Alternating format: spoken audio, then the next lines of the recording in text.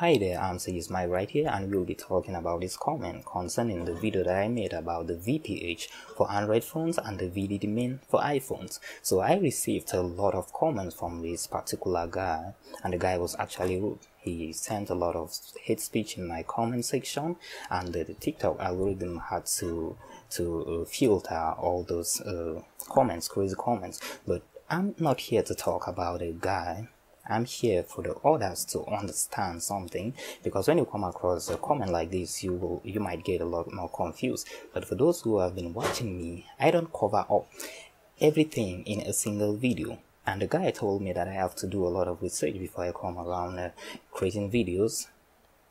I think he's the one who needs to do a lot of research Though he's not quite wrong in the case that he said from iPhone 4 to iPhone 6 they do not have access to the VDD main. For those who have been watching my videos, they know very well that from my other videos, I explain clearly not every Android phone has a VPH.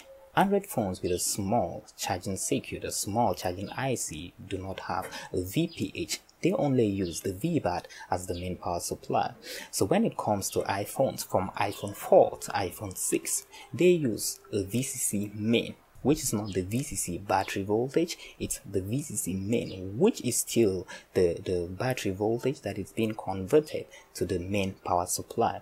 Okay, we are talking about the VDD, right? So I'm getting to a point in which the guy said from uh, iPhone 13 upward, they do not have access to the VDD main.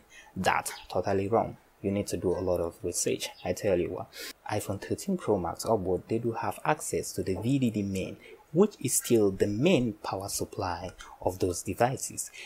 The phone might use the VCC battery to power up, but the VDD main power supply is still available in all these models and the VDD is still the main power supply that supplies most of the components that are using a high amount of voltage and they are still known as the main power supply and still they are being converted by the charging IC I hope that those of you who are listening to this will do understand.